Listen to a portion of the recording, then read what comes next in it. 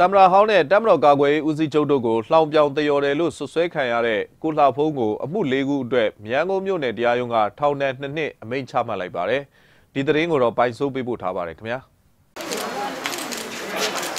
ကျဖာကြီးဆိုတဲ့ Facebook အကောင့်ကနေနိုင်ငံတော်သမ္မတဟောင်းဦးသိန်းစိန်နဲ့တမတော်ကာကွယ်ရေးဦးစီးချုပ်တို့ရဲ့ဓာတ်ပုံတွေကိုပြုပြင်ဖော်ပြခဲ့တဲ့အတွက်မြန်ကုန်မြို့လျာကိုလှဖုံးကိုဒုတိယပုံမွေးတယောက်နဲ့ရဲအရာရှိနှစ်ယောက်တို့ကတရားစွဲဆိုခဲ့တာပါ။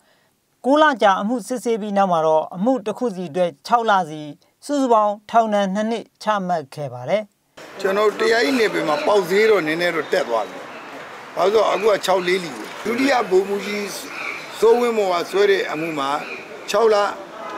နောက်တကရေဒူရဲမှုသိမ့်ဖို့တုန်းကလည်းဆွဲတဲ့မှုမှာ6လအဲ့ဒီ6လ6လနှစ်ခုကဆက်သွယ်ဥပဒေပုံမှာ66ကာကြီးနဲ့ပတ်သက်တာရဲအုပ်ထိုင်ဝင်းက ဆွဲတာက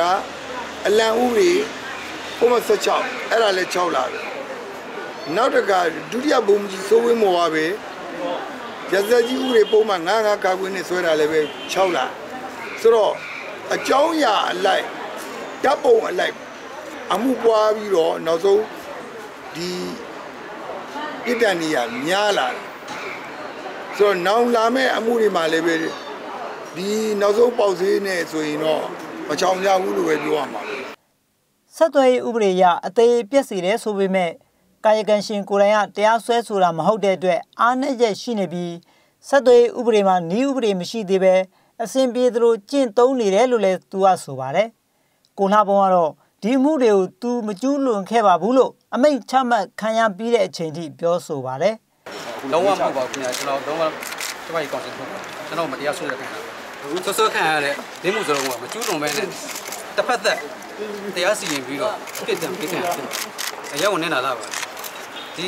အရသမပါပဲနဲ့ဒီတက်မတော်ကတက်မတော်နဲ့စီရင်နဲ့ပေါင်းပြီးတော့ပြစ်ပေးတဲ့ကိစ္စလုံးဝတရားမျှတမှုလုံးဝမရှိပါဘူး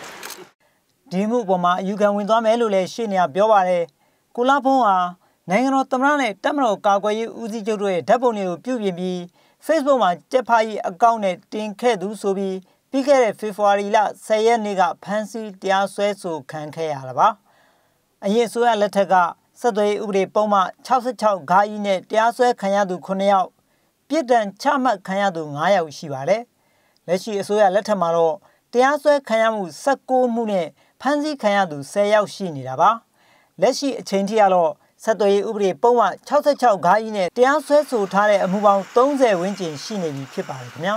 ကျွန်တော်ပိုင်ဆိုပါ